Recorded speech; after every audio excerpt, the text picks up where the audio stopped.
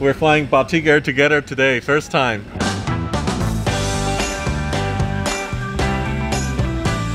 Welcome back. I'm at the best airport in the world at Changi, at Singapore. This airport is just so beautiful. Hey, thank you. Nice to see you. I am coming to Indonesia today, Jakarta. Here we come.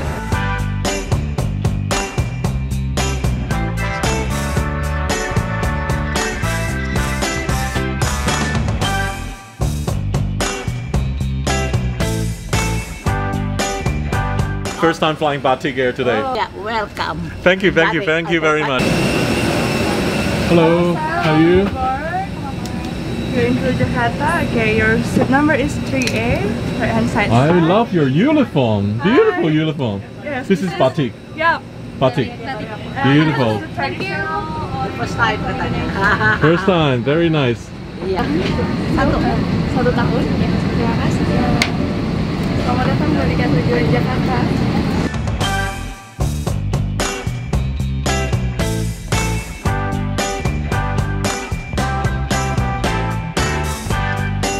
Menuju Soekarno Hatta di Tangerang, Banten.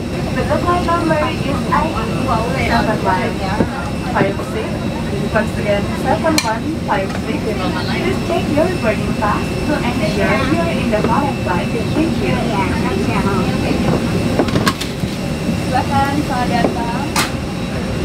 My name is uh, Enko Mai, my captain. Welcome to uh, Batik Air. This flight number uh, ID 7156 going to Jakarta, Hatta International Airport.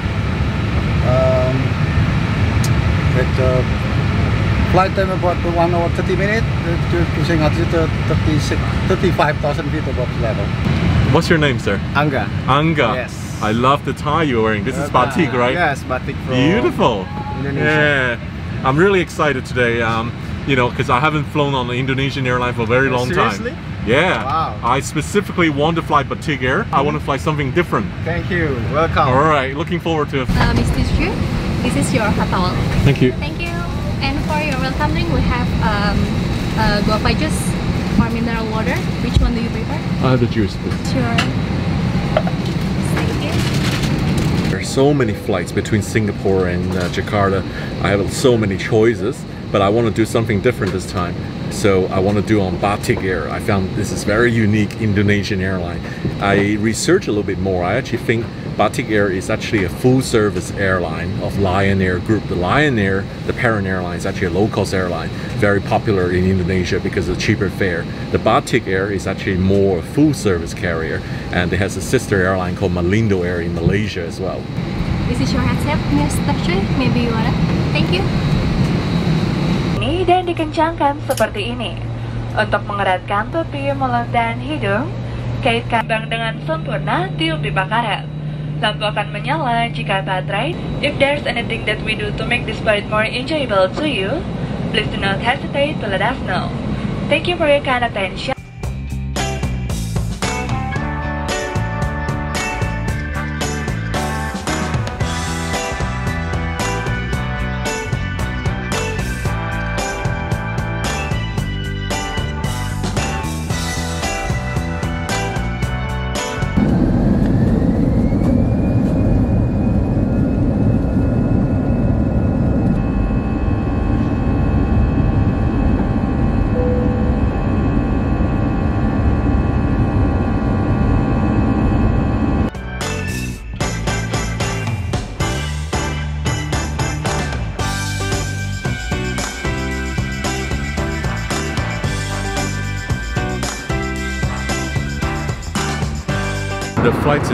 Full today. It's only 80 passengers, so I got to try out both the business class and the economy, and just checking out what the features like in the economy.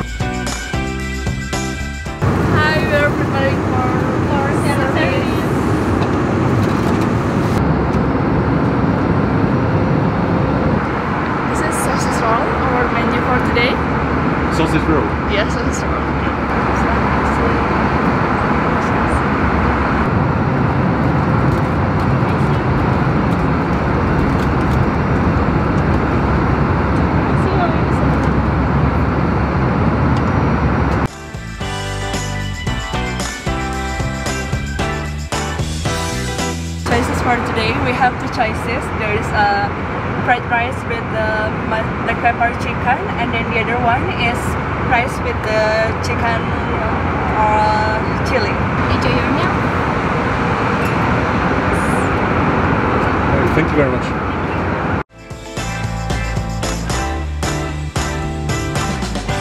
I am getting very comfortable on my flight on Batik Air. Now, as a frequent traveler, I use VPN. Why I use VPN? Because I want to secure my data and also to avoid internet censorship. A lot of times I am connected to public Wi-Fi, such as hotel Wi-Fi. Sometimes I don't feel comfortable sending important banking credentials over the internet using public Wi-Fi. So that's where the VPN come in handy to encrypt the data to protect the identity. Internet censorship these days is becoming a huge pain for travelers like me. So the best way is using Surfshark VPN to connect to a different country that access all the content you want. And now I want to introduce a new feature in Surfshark VPN. It's called HackLock. HackLocks provide an extra layer of securities. It scans through your email address and also your password. In case there's a breach or leak, HackLock would notify you by email and you can take appropriate action. Get Surfshark VPN at surfshark.com slash SAM. Enter promo code SAM. Get 83% off and one free month that is less than $2 per month as a VPN subscription. This video is sponsored by Surfshark VPN very very hazy pollution when you're crossing over and then when you come into near Jakarta you know the visibility drops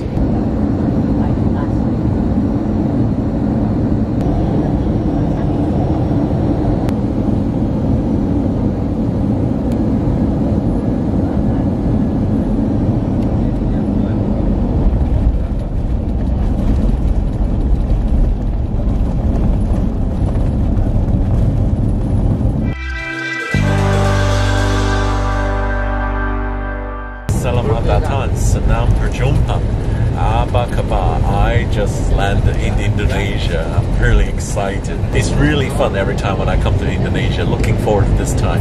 And the flight went really well. I mean, the crew were really warm, just as all the Indonesian crew would do.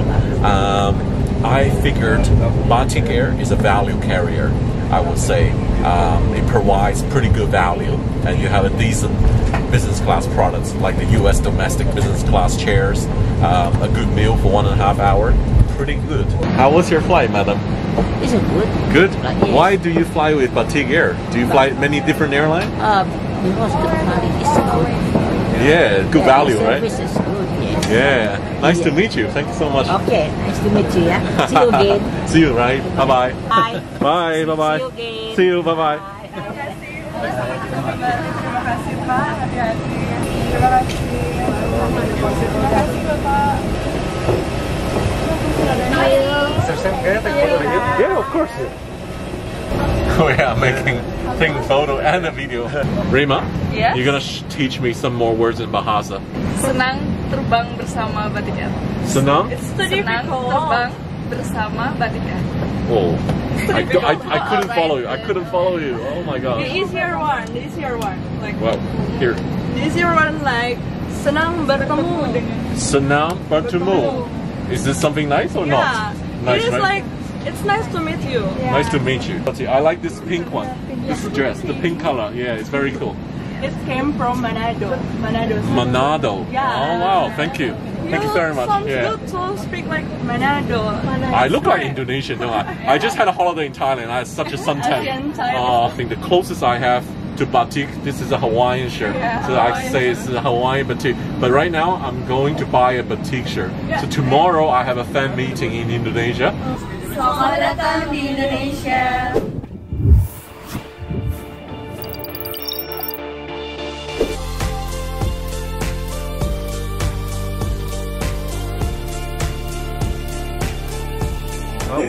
We have so much giveaway Yeah. today for everybody who's into aviation today. the, the coffee barrister is actually a fan. How amazing it is. Hey, how are you?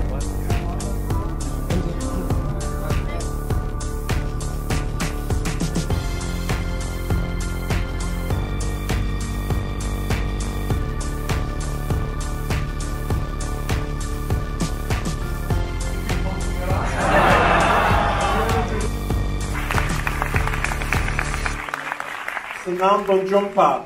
It is my deepest honor and pleasure today to share this session with you. Are you guys all well today? Yes!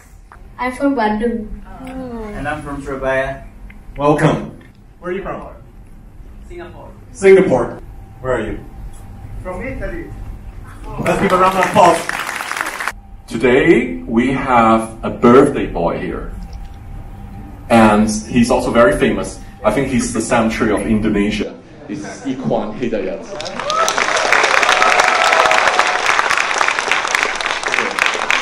Okay. Okay. Okay, the camera's turned. You are amazing. You know why I like you? Because not not because we look alike, but also you and I are always smile. We smile so nicely.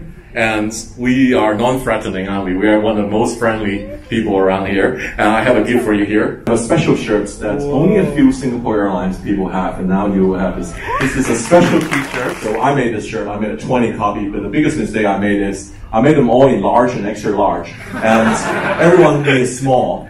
So I finally can give out one of the shirts to you. Can someone take a picture of us? I was told, but I think I knew it as well, in my blood. I'm an Indonesian. I look like Indonesian, don't I? this is my first batik shirt. I bought it today. Thank you, thank you. And I love this shirt. Thank you so much. Anything make me look slim, I'll do it. the wipes are so good. Every time I come to Indonesia, the people here makes me happy. Because with your support, you guys gave me a lot of strength to be here. Thank you again. Thank you very much. I want to talk about sharing with you my love of aviation, especially in Indonesia. I think many of you didn't know. I came to Indonesia in 2001 the first time. There were lots and lots of pictures I've taken because I started and I'm always a plane spotter. Um, those days coming to Indonesia was really amazing. I got so many stories to share with you. Um, the first time I arrived in Jakarta, there was a there, was just villages around the perimeter row at that time. There was literally no fence, and there were holes, big holes. I can go through this little hole, go inside next to the runway, and people were washing clothes on the river, you know, and then like there were chicken running, hens running, and lambs running, and, and then but the amazing thing is there was no fence. You can take great pictures.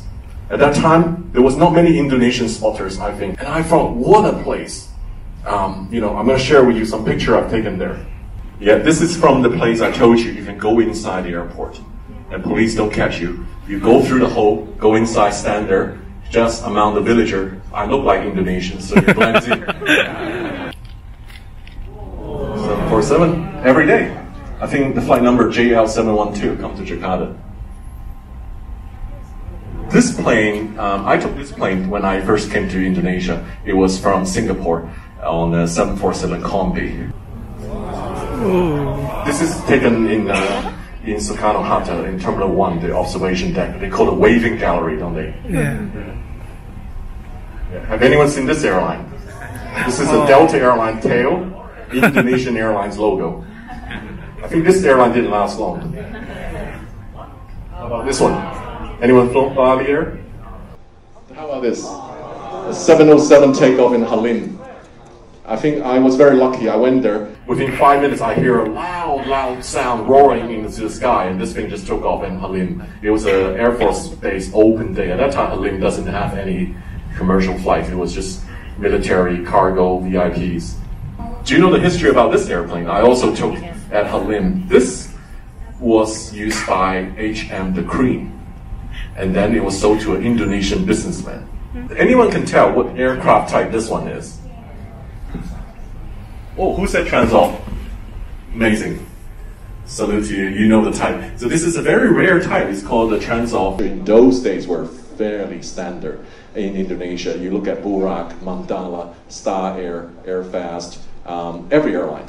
The main domestic fleet is 737-200. So later on, this was in 2013, um, I made an effort. I went to Jeddah and um, you know I've flown all the 747 in the world. I have to fly on the Garuda 747. But it was a beautiful moment. You look at it; it was just before sun, just after sunset, and uh, you look at, you can just adore how big this airplane is. I want to answer any question you have for me. Uh, I saw you your video on YouTube. You can travel a lot with the more experience, yeah, more than uh, first class. You can travel with the resident class, and the last video you travel with the private private jet.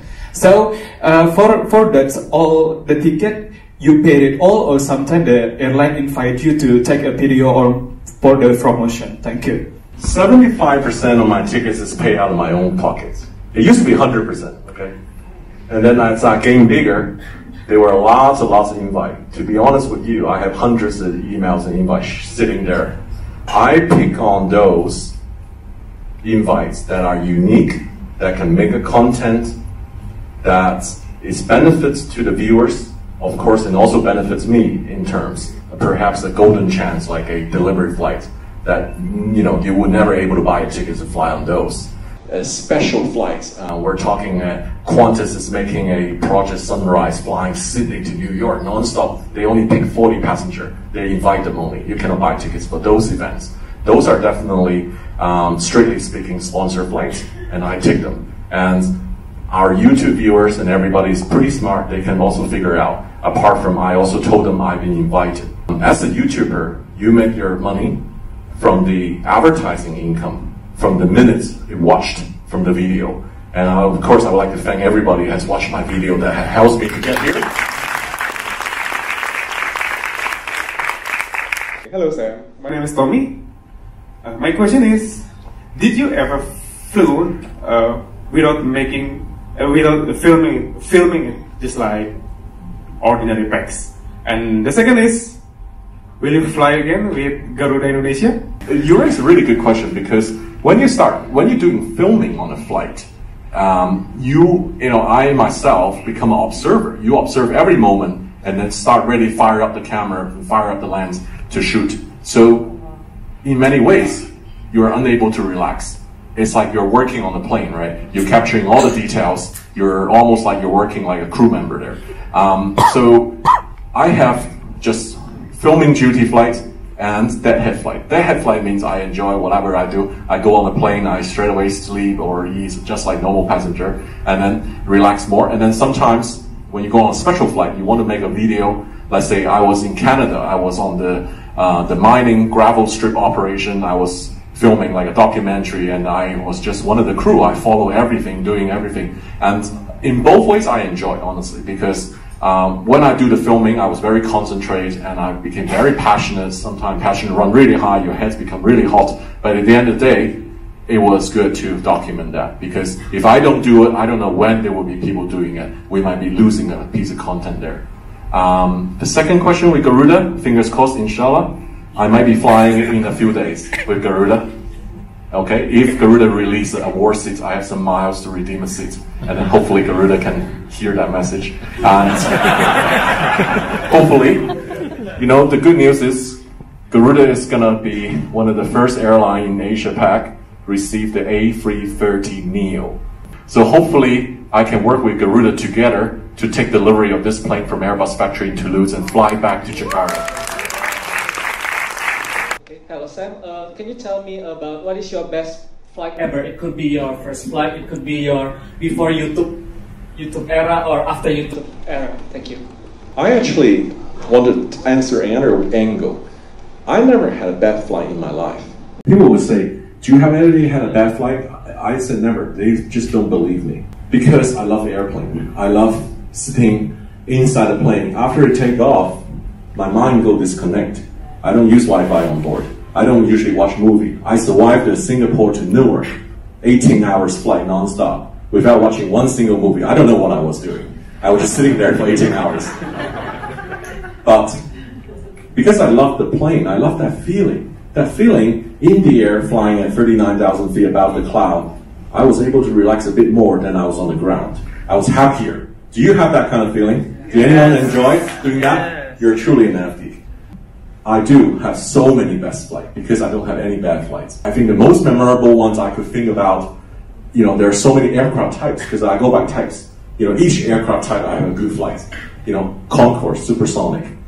Um, you know, there are so many Boeing 747 from 747 SP 100 series to the 747-8. Um, in a few days, I'm going to Hong Kong. I'm going to fly a very special flight with Qatar Airways cargo, a 747-8 freighter. And that is the invited flight, like your question earlier, because there's no other way you can buy a cargo ticket, go on a cargo flight, unless you pack yourself as a human meatball. I want to ask you about the video also because I found out your video is getting better and better.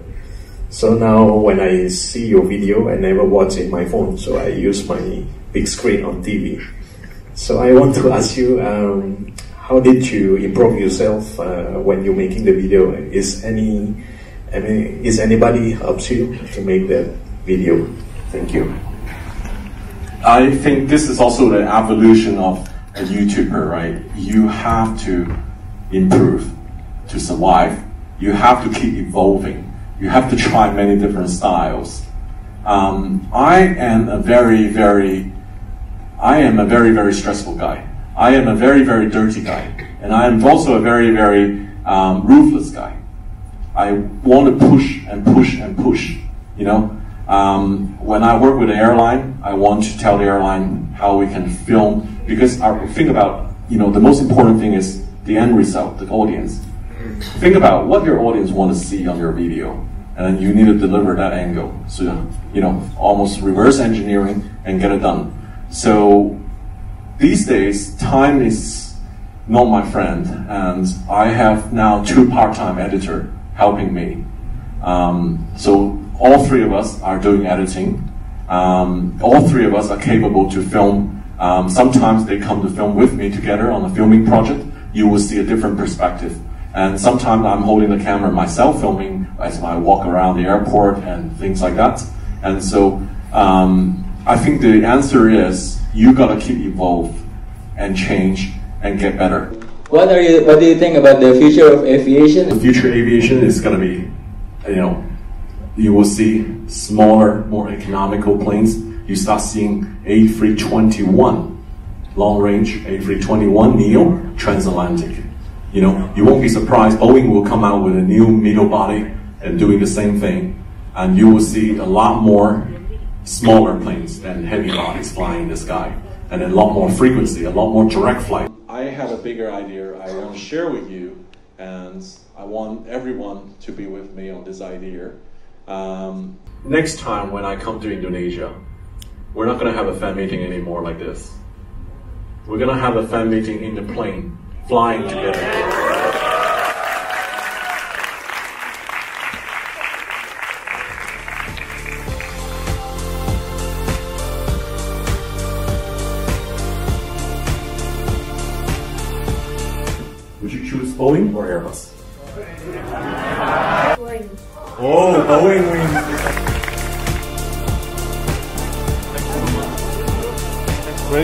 Great one. Let me sign this. Hope you enjoyed.